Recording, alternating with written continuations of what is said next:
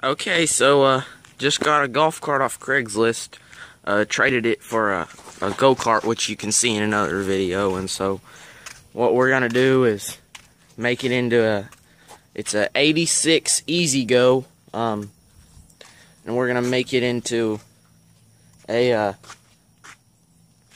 gas-powered golf cart. Right now, it's got electric on it. You can kind of see in here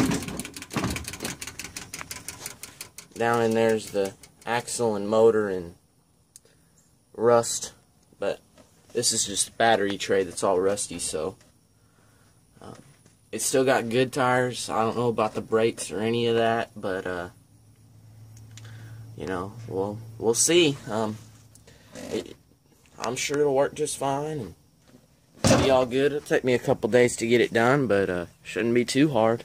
Um, got a Predator 420 with the electric start in there. We're going to put on it and the uh, torque converter.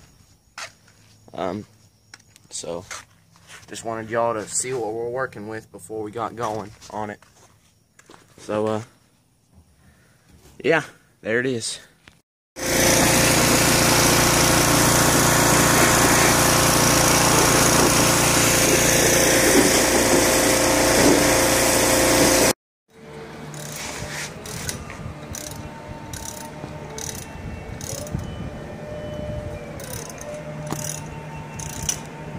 recording.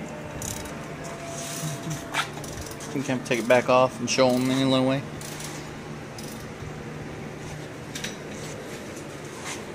I want this on there so it's locked up.